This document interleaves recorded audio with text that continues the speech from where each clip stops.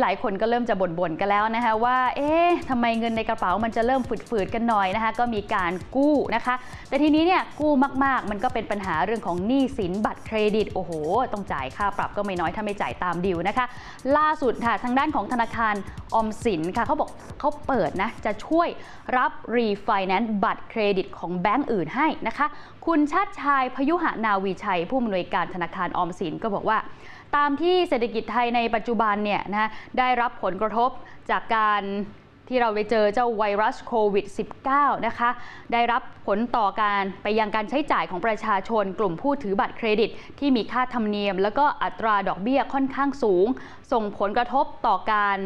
ผ่อนชำระนะคะความสามารถในการผ่อนชำระเนี่ยมันลดลงทางด้านออมสินนี่ก็เลยออกมาตรการเพื่อบรรเทาภาระผ่านบัตรสินเชื่อนะคะ เป็นสินเชื่อบัตรเงินสด GSB Refinance สำหรับผู้ที่ต้องการ Refinance บัตรเครดิต จากสถาบันการเงินอื่น ๆ มายังธนาคารออมสิน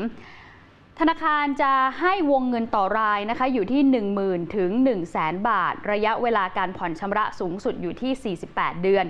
ผ่อนชำระคืน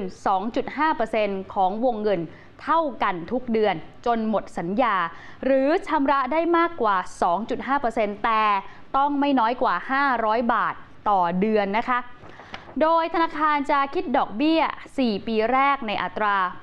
8.5%ต่อปีสำหรับกลุ่มข้าราชการ พนักงานรัฐวิสาหกิจ ลูกจ้างองค์กรของรัฐ และผู้ที่มีรายได้ประจำนะคะ ถ้าเป็นกลุ่มนี้จะคิดดอกเบี้ย 4 ปีแรก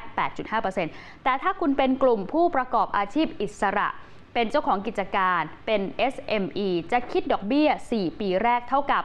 10.5%ต่อปีค่ะ พร้อมกับยกเว้นค่าธรรมเนียมการใช้วงเงินเป็นเวลา 4 ปีด้วยกัน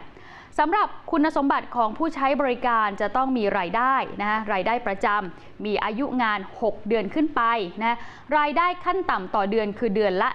15,000 บาท ส่วนใครที่ประกอบอาชีพอิสระนะคะ คุณต้องมีอายุงาน 6 เดือนขึ้นไป หรือเป็นเจ้าของกิจการดำเนินธุรกิจ 1 ปีขึ้นไป มีประวัติการชำระหนี้ที่ดีนะคะมีประวัติการชำระหนี้ที่ดีย้อนหลังไป 12 เดือน และไม่มีประวัติการผ่อนชำระล่าช้ามากกว่า 30 วันนั่นเอง ดังนั้นท่านไหนรู้ตัวว่ามีปัญหาเรื่องของบัตรเครดิตเนี่ยนะคะก็ติดต่อที่ธนาคารออมสินได้นะคะ ก่อนจากกันไปอัปเดตนิดนึงแล้วกันบาทไทยค่ะ ตอนนี้วิ่งอยู่ที่ 31 บาท 51 สตางค์ถึง54 สตางค์ต่อดอลลาร์สหรัฐ ส่วนทองคำ gold spotอยู่ที่ 1,600 กับ 3 เหรียญโดยประมาณ ขอบคุณที่รับชม TNN ช่อง 16 นะคะ และถ้าไม่อยากพลาดการติดตาม อย่าลืมกด subscribe และกดกระดิ่งนะคะ เรายังมีวิดีโอที่น่าสนใจอีกเพียบเลยค่ะ